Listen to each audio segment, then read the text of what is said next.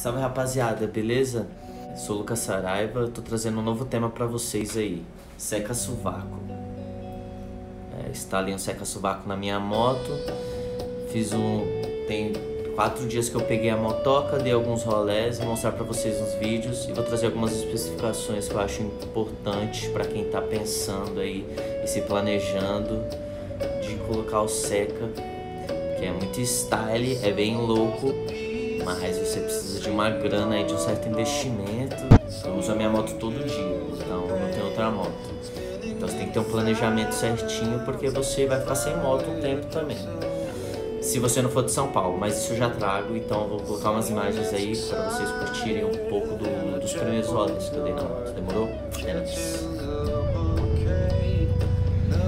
A primeira coisa que eu quero trazer para vocês é por que colocar o seca sovaco. Tipo assim, Velho, é muito style. Seca é uma coisa que é muito style. Quem gosta de moto custom vai achar bem louco o estilo, porque é, ele sendo pequeno, um pouco maior, é muito legal.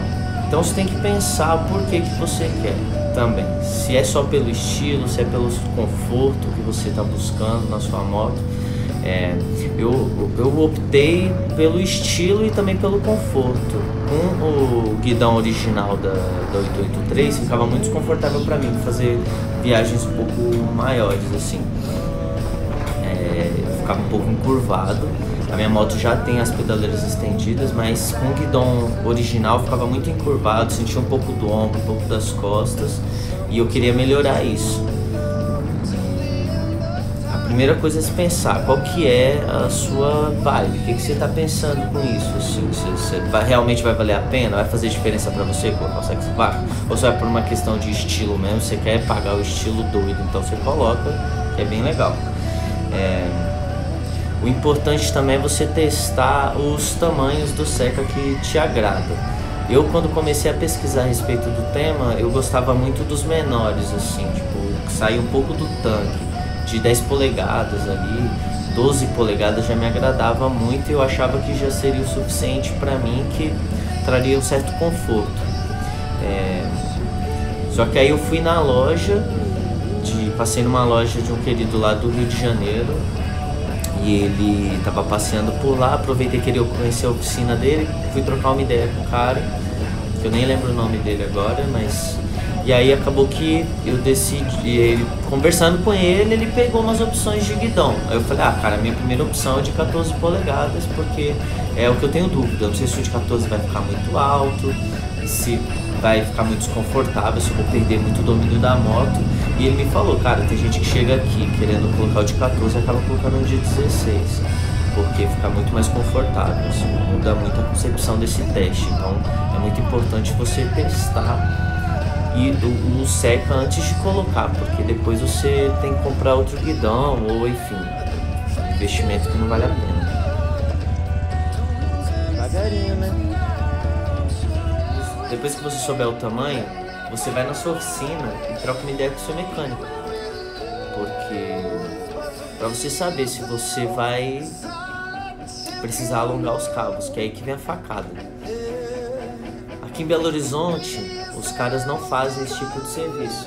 Então eu tive que mandar. Minha moto ela é 2016, modelo que já tem ABS. Então eu tive que tirar a caixinha do ABS e mandar para São Paulo para o cara alongar o cabo original da moto para poder ser feita a instalação.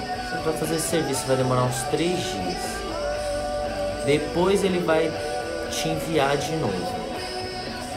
E aí demora um certo tempo para instalação também, né? Então você tem que se planejar nesse, nesse sentido, você vai ficar um tempo sem moto, não dá pra você tirar o, o cabo, a caixinha do ABS e ficar usando a moto. Você vai tirar, vai desinstalar tudo, não tem como você usar a moto. Então você já tem que se planejar em relação a isso, porque você vai ficar sem moto, não tem jeito. O tempo de serviço aí, dependendo do seu mecânico, se você tiver sorte, se o correio não tiver em greve, se tudo der certo, vai ser de 15 a 20 dias. Mais ou menos isso. Se você tiver muita sorte, em 10 dias você resolve.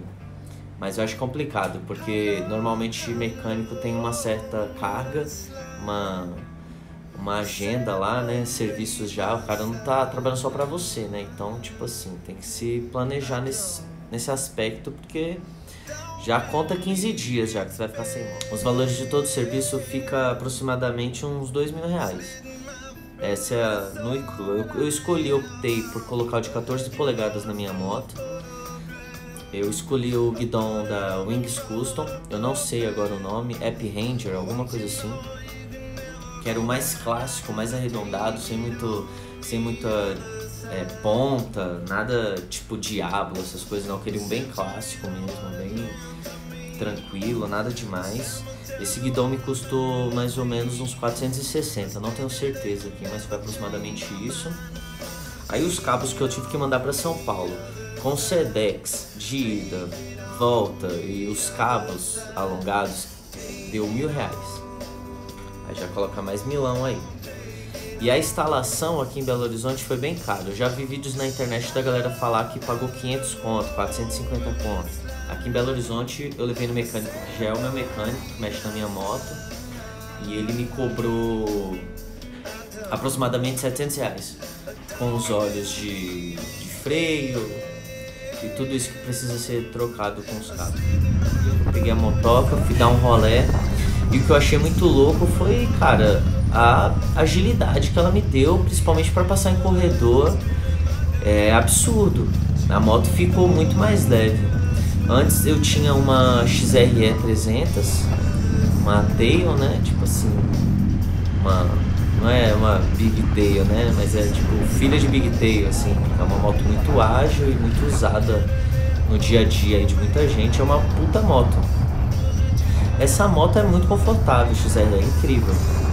Pra você ter ideia, como eu achei que a, a, a, o Seca deixou tão ágil a moto, eu achei, eu comparei com a XRE de flexibilidade, assim, eu achei a moto muito mais rápida, muito mais na minha mão, assim. Gostei muito da do controle que ela me deu e mais segurança. Achei que fiquei muito mais confortável porque ficou mais ou menos na altura do meu ombro guidão, então achei que ficou bom pra caramba. Não ficou acima do meu ombro, mas ficou tipo mais pra baixo do que pra cima do meu ombro, assim, ficou bem bom. Eu escolhi de 14 polegadas que eu acho que foi a medida que ficou boa pra mim também dentro daquilo que eu conversei com o cara na oficina.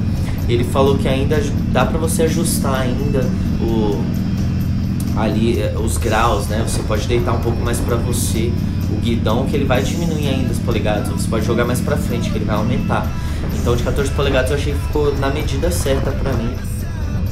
E dos rolés, cara, tipo, tomar cuidado pra caramba, porque você já conhece sua moto, você sabe que é uma, o tipo de motor que a sua moto tem, a agilidade que ela tem, né? Como que ela se comporta né? nas saídas, arrancadas, curvas e tudo mais. Só que com o Seca Subaco muda um pouco essa percepção. É um pouco óbvio isso, né? Mas assim, tem que ficar ligado, porque às vezes num vacilo você pode deitar sua moto parado, porque você confia na, na agilidade assim, da parada.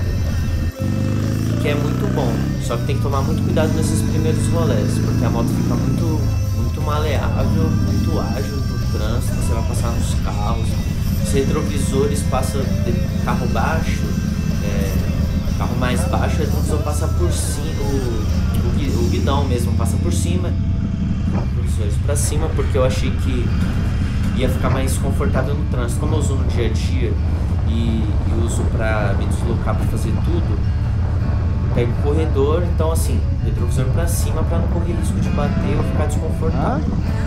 Então é perfeito, assim. Né? Os carros mais altos você sente que ele fica bem próximo, mas com jeitinho ali você passa tranquilo, muito tranquilo assim. Espero ajudar quem tem essa curiosidade de colocar o seca e quem tiver pergunta, alguma coisa, me manda aí com a minha experiência, um pouquinho da minha experiência, eu posso tentar ajudar de alguma forma. Eu não sou especialista em nada, eu sou apenas um cara que curta moto e estou aprendendo a cada dia desse universo. Desculpa aí alguma coisa, alguma besteira que eu falei, mas é isso, espero trazer um pouco de informação com as minhas experiências, com os meus erros e com os meus acertos também, poder ajudar vocês e também aprender com tudo isso. É, qualquer dúvida, manda aí do vídeo que eu vou estar respondendo com o maior prazer. E é isso, cara. Curte aí o, o vídeo, começa a seguir meu canal, você que me conhece. E é nóis, quero trazer sempre mais conteúdo aí. Tô meio afastado do canal, mas já já vai vir bastante coisa legal, demorou? É nóis então, grande abraço e valeu! just disappeared. They never once heard him complaining. Their every wish is his desire.